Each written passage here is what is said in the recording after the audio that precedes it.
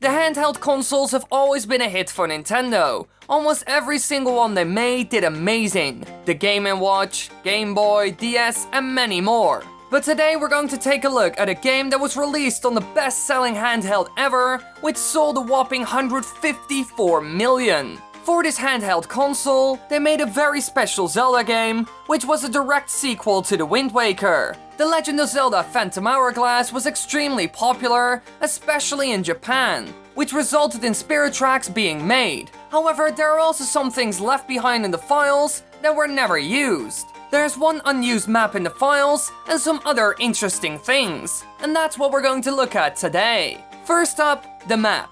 It's called Player DNGN and contains four unused rooms. The rooms can be accessed in a PAL version with action replay codes that change which room is loaded when Link enters a door. Let's start by looking at the first one. It features the main entrance, several entrances in each corner, and a teleporter. The blue teleporter and the invisible teleporter at the bottom right lead back to the room itself, while the main entrance leads to the Great Sea. The bottom right exit and the bombable wall in the top right corner lead to room 2, but both are glitched. Unless this wall hasn't been bombed, trying to return to room 1 from room 2 will cause Link to constantly spawn inside the door, sending him back to room 2. Another bombable wall in the top left corner leads to room 4. On an elevated platform are three doors for the main dungeon. Each one corresponds to a spirit traveling with Link, and all are functional. Trying to use the Sun Gate, which requires the Sun Key from the sunken chest,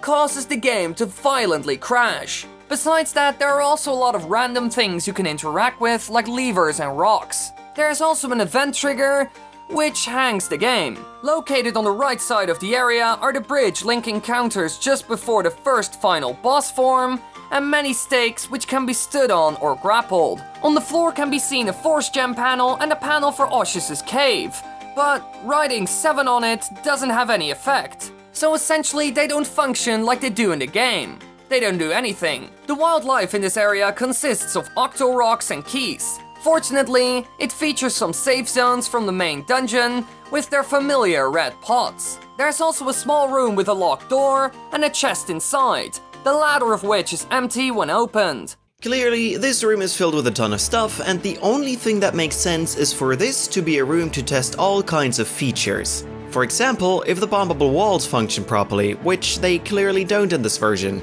or if the levers work properly. A lot of games have rooms like this. For example, The Legend of Zelda The Wind Waker has multiple rooms to test stuff like swimming, jumping, doors, and more. This room contains mostly things you can interact with by the looks of it. So let's have a look at the other rooms and see what their themes are. In the second room, there are multiple ways to get to any of the other rooms just like the first one. However, there are no enemies around this time. Some of the features of this room are oddly textured, with water, safe zones from the main dungeon, and other stuff. To the south of the area above the water are interspaced floors which may have been used for testing Link's auto jump. There is also a non-functional switch, an odd untextured object, and a closed door, but we aren't sure what the use of this stuff was. Using cheats to traverse the room reveals a winding path with a small staircase and two more lowered iron doors. To the east is a small bridge, which leads to two switches that make the doors raise abnormally high when Link stands on them, but lower once he dismounts. At the end of the path is a cracked wall. Using a bomb on it makes the puzzle solved sound and raises the last gate indefinitely. Now for the third room. It's a wide area with a locked door leading to nothing in particular, which is a bit strange. It also boasts an elevated platform with some pillars, scattered about stairs, and even two abnormally high staircases which lead nowhere, causing Link to fall off at the end.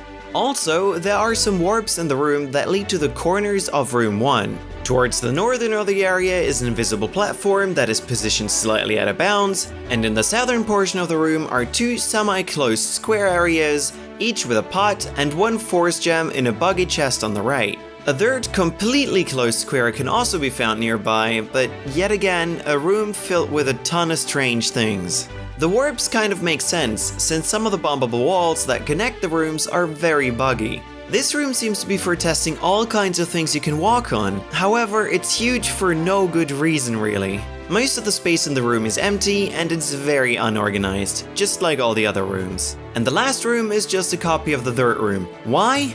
Well, we have no idea and it really doesn't make sense. If you look at the test rooms from the Wind Waker, then you can see that they look way better. Everything is easy to find and see in one glance. Not sure how Nintendo did testing for this game, but this really looks messy. Now to finish this video off, we will look at an early map of the first island in the game, Mercay Island. It lacks both houses and cave entrances. Oddly, it fits perfectly with the entrance to the first dungeon and the temple. So this is most likely an early version where they didn't add any of the houses and caves yet. Besides that, they also added some small things here and there, and also moved some stuff around. For example, the small river in the middle, which served as a plot point in the game, since the bridge was broken at one point, isn't there in this early version. They probably added this later on, so that you couldn't go to the main part of the town that way. Besides that, they changed some small stuff like the heights of certain areas, and by the looks of it, the town was supposed to be up here instead of down there. We aren't sure why they made this change, but it could be because of the water and bridge that was later on placed to the left side of the town. So Phantom Hourglass has some weird stuff in the files, and not all of it really makes sense.